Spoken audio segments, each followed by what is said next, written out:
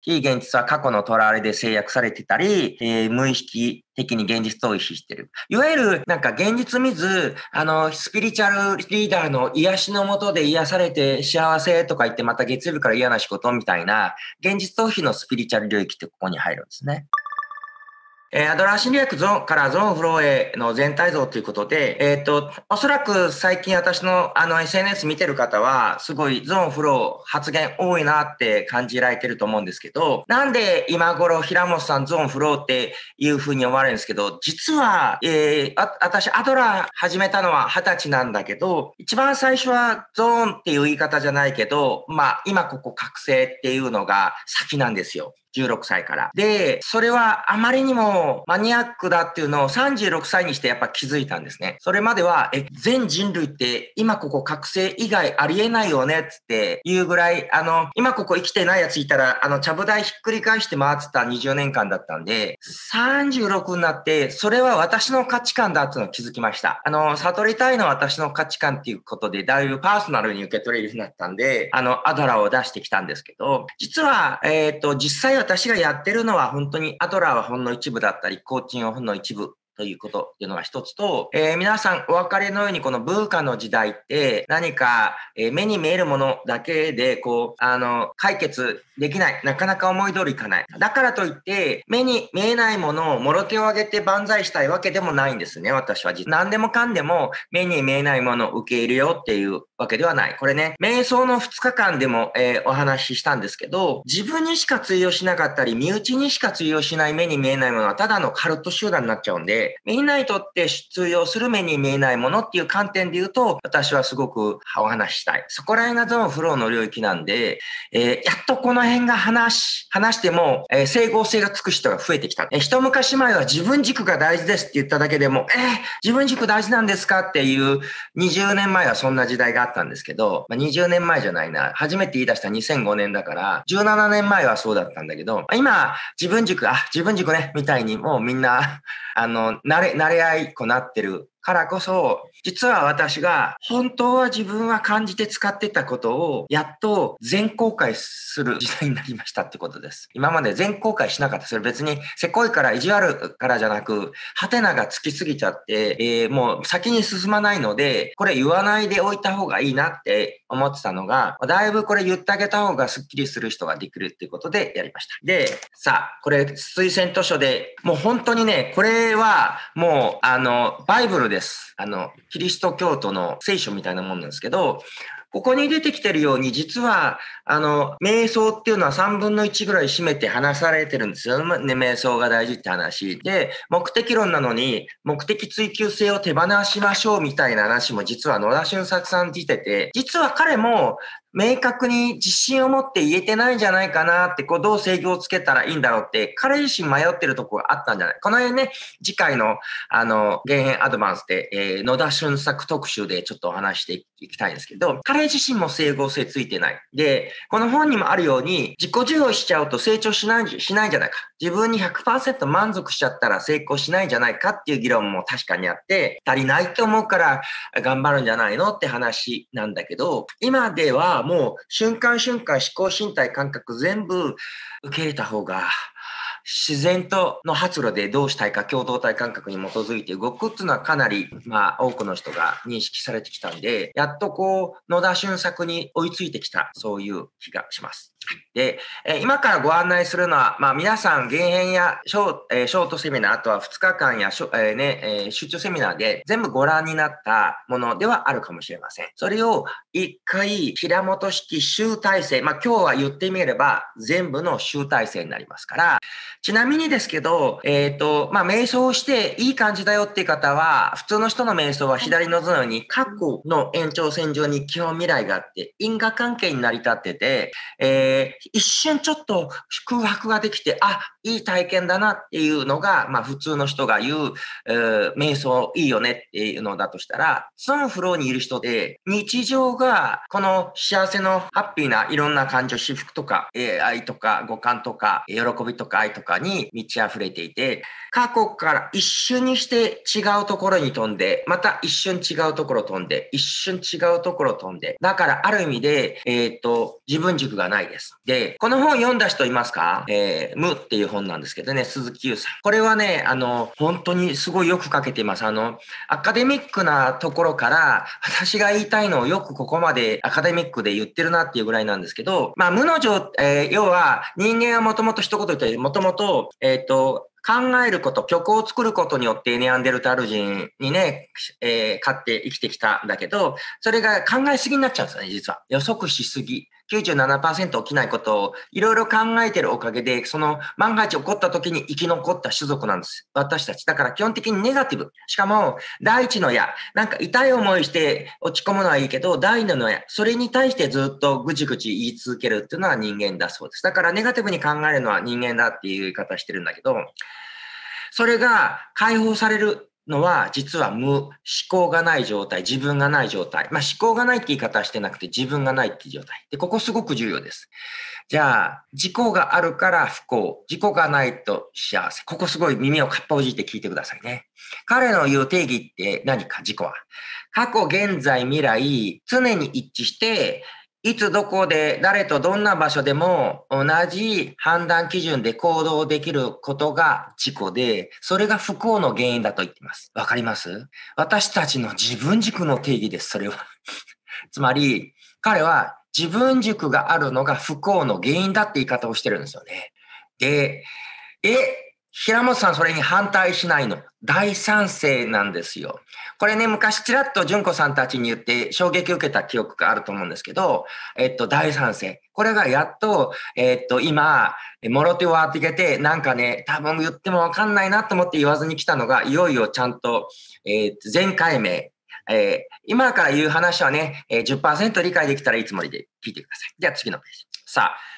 世の中にはこの4つの出来事があります。一つは、まあ一番下、思いもよらない嫌なことある人いないですかねなんか、え、なんでこんな目に遭うの？って会社行ったらなんか急に変な上司に文句がありたりとかね、部下が予定通りやってこなくて、え、なんでみたいにありますよね。なんか急に妻が怒り出しちゃったりとかね。思いもよらない嫌なこと。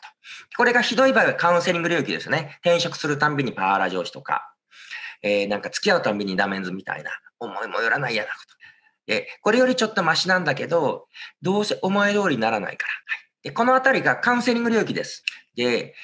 コーチング領域って思い通りの人生生きることなんで、思い通りの前に、あなたの思い何ですか？大きく二つ明確にしたいです。一つは自分軸。もう一つはどうなったらいいの？自分軸とどうなったらいいのが明確にすると、えっ、ー、と、現在と目的地があって、そこにどうアクションプラン立てていくかっていうことで、えー、コーチングが成立するわけですね。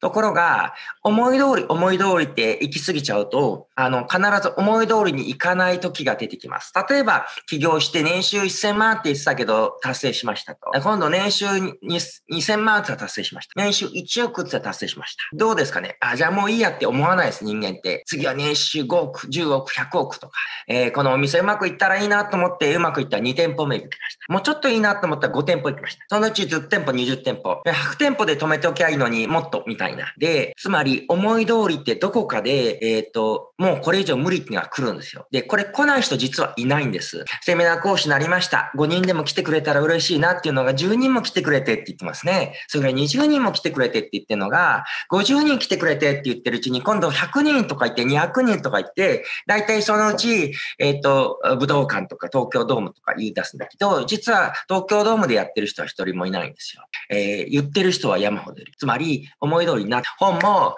1万部売れたらいいとか言って2万部売れて、5万部売れたらいいって10万部売れて、100万部売れたらいいとか言ってね、1000万部とか言って、えー、日本人で1000万部売ってるのはこんまりさんぐらいですかね。つまり、思い通りにどこかが限界が来るんですよ。で、これ、思い通り中毒になっちゃうんですね。これもうまくいったから、あれもこれもこれもこれも。変な話、えっ、ー、と、年収1000万とかぐらいだったら、夫婦関係良くなるんだけど、年収3000万か500万になると、大体離婚するんですね。えー、お金ある人は、いや、もうこの妻じゃなくていいや、みたいな、なんか、言うこと聞かないわ、なったら若くて言うこと聞く可愛い女の子のがいいや、みたいにやっちゃうんですよね。で、それって本当に幸せなんだろうか。まあ、それが幸せだっていう人もいるかもしれないけど、でもそれ延々と繰り返してても、なんかね、延々と満たされないループに入っちゃうんです。だから、実はこれ、それぞれ違う原理に基づいてて、最後、思いもよらないいいことが起こるんだっていう意識状態に変わっていかない限り、延々と、あの、思い通り、要は成功するんだけど、幸せじゃないっていう状態です。一番下がカウンセリング領域、次がコーチング領域、そして上がゾーンフル。えー、ということで、まあ一番下は、えー、非現実、真ん中が現実、上が超現実だとしたら、一番下の非現実は過去のとらわれで制約されてたり、えー、無意識的に現実逃避してる。いわゆる、なんか現実見ず、あの、スピリチュアルリーダーの癒しのもとで癒されて幸せとか言ってまた月曜日から嫌な仕事みたいな、現実逃避のスピリチュアル領域ってここに入るんですね。で、真ん中の領域って原生利益でしょう。まあ、商売繁盛、無業即退、えー、商家内安全、まあね、人間関係良くして、そして、えっ、と、仕事も、チームも良くする。いわゆる原変がメインで扱うのはここの真ん中の領域、コーチング領域。一部、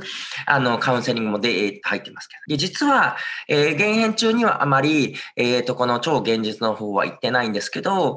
時たまみんなで一緒にやってる時に二人でコーチングし合ってふわっと自分が消えてなんか、えー、やったりとか、まあ、例えばゲンさんなんかが、えっ、ー、と、何にもカウンセラーになるって思ってたのに急にセブ島が浮かんできたっていうのはある意味でこれなんかビジョンが飛び込んできちゃって向こうから。これゾーンフローの状態の時です。なんかわからないけど、あ、これだってひらめいてくる。こうなると、今まで設定したとは違う。で、減塩性、減塩来る前になんかチーム組織良くしたいなって思ってきててるところはこの真ん中の領域なんだけど、気づいたら小学校の先生になってたとかなんかそんな人いませんかね？なんかこんな感じで、あの、え、思いもよらなかったけど、そういうのをやりたかったんだ、みたいに多くの人が減塩で想定していたのとは違うことを大事にしてるっていうのは実は、あの、ゾーンフロー領域に行って、インスピレーションを受けてるっていうことです。で、最初こんなこと言われてもよくわからないので、本当ですか？純子さん本当に組織良くなるんですか？みたいな感じで来てたのに、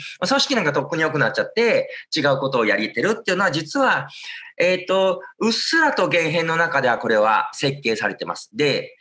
次のページ。この3領域っていうのは私は本当に世の中のありとあらゆる自己啓発、自己平の意識の成長という成長の全てのものをやっぱ分析した結果、違う領域にいる場合、違う領域のアプローチをしちゃうと事故るんですよね。こう、ゾーンフロー領域にいる人なんかはね、なんか、もう、瞬間瞬間感謝ですよとか、何でも感謝とか、あの、ね、言ってるんだけど、あの、カウンセリング領域ったら、感謝できない私なんてなんてダメなんだろうって余計感謝を責めちゃったりするわけですね。とか、そもそも感謝する前に転職するなり、職場良くするなり、コーチング領域で扱ってたり良かったりして、で、またカウンセリングコーチング領域は整合性があるんだけど、で、コーチング領域は一言で言うとと発見。本当は何が大事？自分軸と価値観ビジョンを明確にし、そしてアクションプラン、えー、実現に向けて、えー、どんな行動をとるか。そして解決に向けて何やるか。まあ、こんな感じでアクションプランを取っていくというのがコーチング領域だとしたら、まあ、カウンセリング領域は、いや、分かってるけど、自分がどうしたいのか分からない。分かってるけど、自信がない、自己授与できない。そもそも、ありのまんまそのまんまの自分が受け入れられなかったらカウンセリング領域。それは受け入れてるんだけど、え、どうしたいか分かんないっていう場合はコーチング領域。で、ある時、自分軸も明確だし、価値観ビジョンも明確だし、いろいろ達成してきたし、で、で、みたいな。えっ、ー、と、10年ぐらいで不動産ですごい資産家になって年収5億ぐらいが何もせず、えー、全国各地の100棟ぐらいの不動産から入ってきてもこれ以上何か不動産増やしたいとも思わずに世界中旅行して回ったんだけど、えー、すごく鬱になっちゃったって人がいてもうやりたいことを全部やり尽くしたい。普通はやりたいことをやり尽くさずに死ぬんだけど、30代にして全ての金を手に入れてやりたいことをやり尽くしたとき、果たしてやりたいことをやり尽くすことを幸せとして頑張り続けてきてやれたんだけど、まだ不幸なんですけどっていう人がよくいるわけですよ。とか、数千億規模の事業を成功させて、もう周りからしたらおじいちゃんなんだ、おじいちゃんとは言わないけど、引退十分じゃないですかって、お金もあるし、地位も名誉もあるんだけど、こんなんじゃないと自分は GAFA レベルの事業をやらないと不幸なんだって。まあまあまあ、またまたみたいな感じだけど、本当に本人は不幸なんですよね。そこを達成しないと。だから、ある意味でコーチングがうまくいき出すと、達成中毒になる。達成して、うまくいった。じゃあ次これ、次これ、次これ。で、こうなってくると、ゾーンフロー領域に行かなきゃで、次のページ。ポイントは、まあ、過去からの解放がカウンセリング領域だとしたら、ここ重要。価値観、ビジョン。えー、価値観が、えー、ビジョンが未来、価値観が外にあるのがコーチング領域だとしたら、ビジョンが今、価値観が内にあるのがゾーンフロー領域。で、何かって言ったら、えー、例えばこんなチーム組織になったらいいって3ヶ月後のチームの組織描くじゃないですか。そういうビジョンは未来ですよね。で、3ヶ月後にみんなが笑顔のチームになって協力し合ってるのを見たら、それを見たから価値観が満たされるんですよね。えー、例えば世界平和になった方がいい。じゃあこういう団体を応援したい。無事にその団体がなんか5000人会場集めて、ああこれで環境も良くなるな。5000人来てくれてみんなが意識が良くなったって思ったら戦争をなくそうに環境を良くするに一歩叶ったって感じがする。ここがコーチング領域だとしたら、ゾーン不良領域は下手すると、目の前でリ、リエとパワハラが起こってたり、え会社がぐちょぐちょなまんまでも幸せで入れたりとか、えー、全然環境問題一っ子一人集まんなくて、赤字でポシャったとしても幸せでいれる状態。つまり、何かが外にいつか達成しなくっても幸せ。で、それって危なくないですか？まあ言ってみれば、あのゾーンフロー領域って無思考状態ね危ないんだけど、実はそれで右往左往したり落ち込んだり凹んだりすると、結局人も去っていくし、うまくいかないんだけど、えこんなに大失敗しても、皮膚の内側こんなに幸せそうにいる人がいたらどうかって言ったら、あ、この人といると大丈夫かもってある安心感があって、でも思いもよらない方に転換して、なんかね、環境問題を良くしようと思って動いてたら、実は、えっ、ー、と、子育てママが集まって、教育の方に行って、思いもよらなかったけど応援したとか、逆の場合ですね、教育をやろうと思ってたんだけど、なんか働く女性を応援するように行っちゃったとか、コミュニティを作りたいと思ってたら、なんか自分がスターのに脚光を浴びちゃって、まあいい意味コミュニティなんかどうでもいいんだけど、あの、すごいキラキラした自分が人を幸せして、えハッピーだったみたいに、つまり予定にない思いもよらないことが舞い込んでくる状態なんですよね。このゾーンフロー状態。で、えっ、ー、と、ブーカ、漠然として分かりにくくて変化があって複雑すぎる上になかなかこう予定通りにうまくいかない時代だからこそ、とりわけこのゾーンフロー状態で入れるかどうかが、まあ私の考えるにホモサピエンスの一つ生き抜く道筋かなと。あの、ね、このこういう複雑な時代って、あ、なんかわかんないけど、ビットコインでもなんか知らないけど、えー、送り人になって億万長者になっときゃ、あの、乗り越えられるかなって思うの大間違いで、年収3億ぐらいの人で知り合いますけど、コーチングしてる人、すごいお金に不安ですから、あの、あの、え、笑っちゃうけど、え、あなた不安に思う必要ないでしょうって思うんだけど、すごいお金の不安がある。つまり、あの、いくらあるかが、もう関係ないんですよね。どんな意識状態で入れるかの方が、年収3億稼げてるよりも、年収600万だけど、皮膚の内側がハッピーな意識状態で入れる人の方が生き残る時代になりつつあるんですよ。で、そんな人は、もうしばらくしたら多分それよりも稼げるようになるだろうし、不安がってる人は、えっ、ー、と、なくなっちゃう可能性があります。チャンネル登録お願いします。次回の動画で会いましょう。